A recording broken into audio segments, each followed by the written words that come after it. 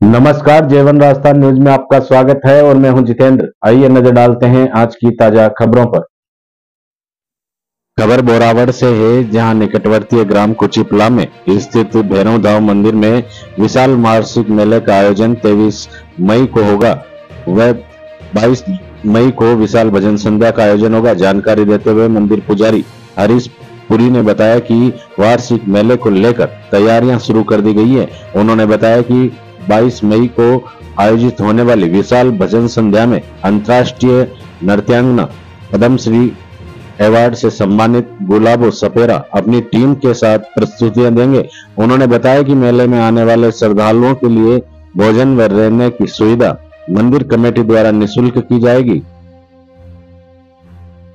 बोरावड़ से bureau report जेवन राजस्थान